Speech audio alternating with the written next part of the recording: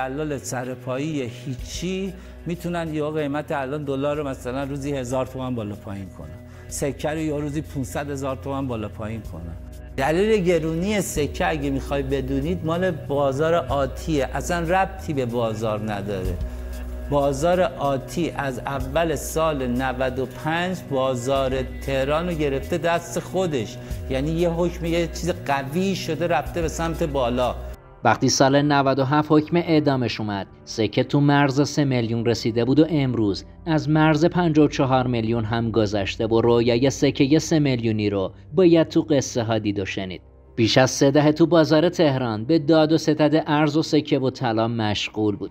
همه می‌دونستن یه نفر با یه سابقه بازاری و نه حکومتی. هر چقدرم پشتوانه داشته باشه نمی‌تونه قدرت تغییر قیمت تو بازار رو به تنهایی داشته باشه. اما به یک بار خبر اومد که اون سلطان سکه است. پلیس تهران اون زمان گفته بود این فرد به نوچه خودش دستور داده بود تو بازار تهران را بیفتن و بدون توجه به قیمت روز سکه تمام سکه های موجود رو بخرن تا در روزهای آینده خودش تعیین کننده نرخ سکه باشه. اما بازاریان کسبه قدیمی مثل خودش نظری دیگه داشتن و می‌گفتن نابغه بود. نون نبوغش رو می‌خورد. تازه به دوران رسیده که نبود. چهل سال کاسه بود. چند سال قبلم اومدن اونو بردن. چند وقت خبری از اون نبود. بعدم برگشت سر کارش. اصلا این وصله ها به اون آقا نمیچسبه. نامش وحید مظلومین. معروف به سلطان سکه بود. اصلا نمی‌تونید. اگه می‌تونید تلاشتون رو بکنید. من وعید مظلومی هم. از زندان که ما اومدیم بیرون قیمت شد پنج برابر. آره، حرفای من یادت نره. مظلومی آره. لذت های زندگی رو باید ازش استفاده کن بعد میلیارد تومن. خیلی حجم پول بالاست. به هیچ عنوان نیست.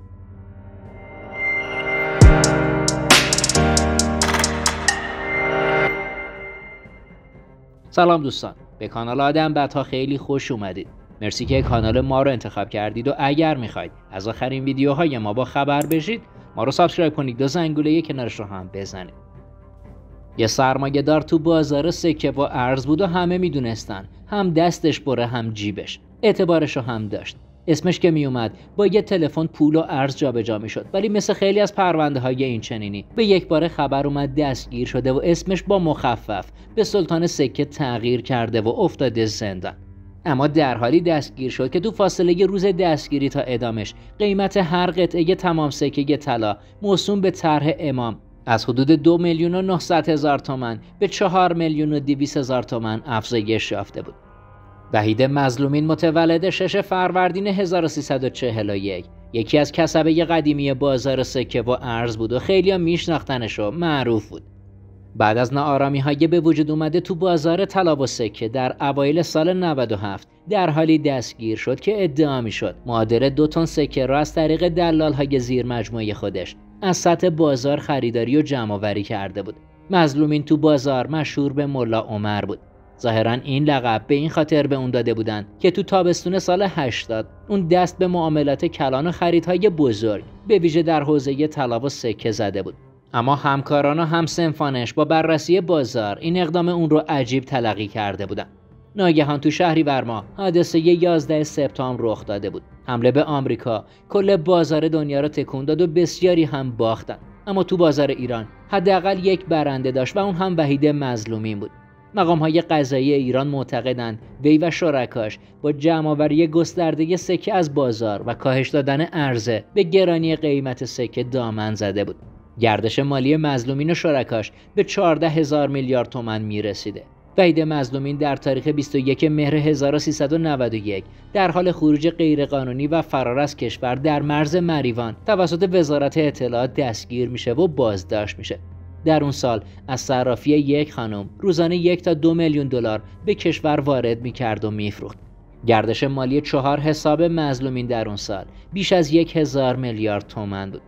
بعد از اون در سال 91 به جرم اخلال در بازار دستگیر میشه که با پادرمیونی محمود بهمنی رئیس وقت بانک مرکزی در دولت احمدی نژاد آزاد میشه. از او به عنوان کسی که در تلاطمات بازار ارز و سکه در سالهای 71, 90, 91 و 97 دست داشته یاد می‌کنند. کسی که هنگام آخرین بازداشت خودش به مامورا گفته بود برید و به خودتون افتخار کنید که منو دستگیر کردید.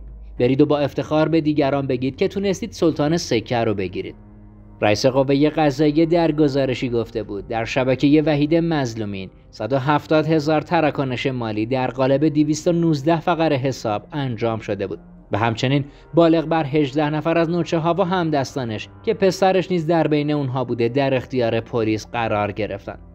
مظلومین متهم میشه که به واسطه در اختیار داشتن منابع اطلاعاتی از مراجع تصمیم ساز با روش های مکارانه قیمت ارز و سکه را به صورت عمده بالا و پایین می‌کرده و به این ترتیب در نظم اقتصادی ایران اخلال ایجاد می‌کرده. در جریان همین اقدامات پلیسی بود که محمد رضا مظلومین پسر وحید مظلومین در همین اقدامات بازداشت شد. در همون زمان محمد اسماعیل قاسمی دیگر همکار مظلومین نیز بازداشت شد.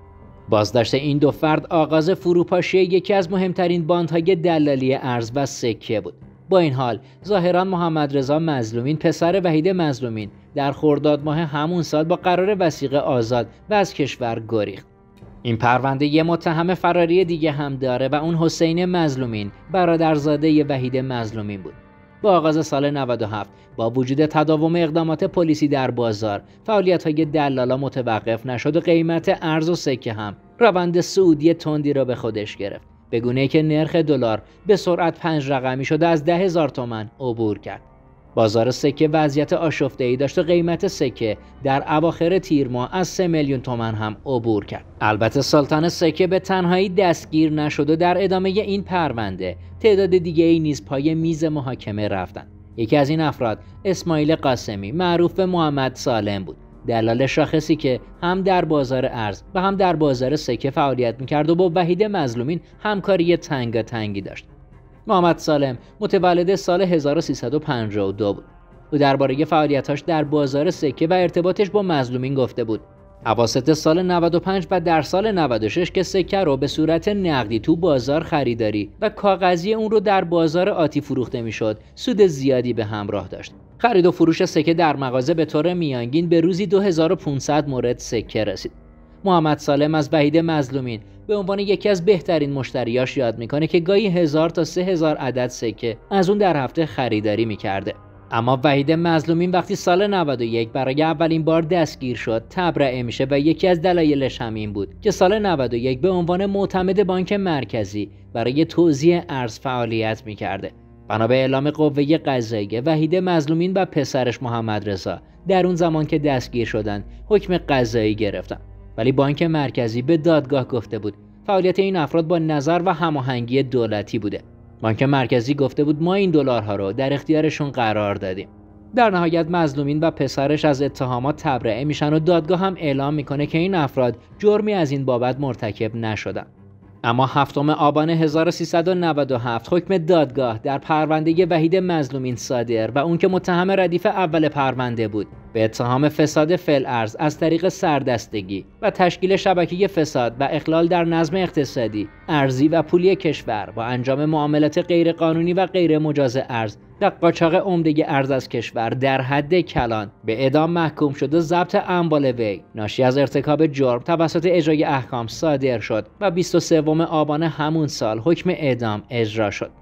اما این آخرین تصاویر سلطان های بازار ارز قبل از اجرای حکم اعدام بود و حالا نه سلطان سکه در بازار وجود داره و نه هیچ سلطان دیگه ای و بعد از این همه سال دلار به مرز 70 هزار تومن و سکه از مرز 54 هزار تومن هم گذشت. شاید اونها از اون دنیا در حال تغییر قیمت در بازار هستند هرچند که بعد از خاک سپاری اون در بهشت زهرا در خصوص قبر اون شایعه های مختلفی وجود داره که اثری از قبر اون در این قبرستان وجود نداره.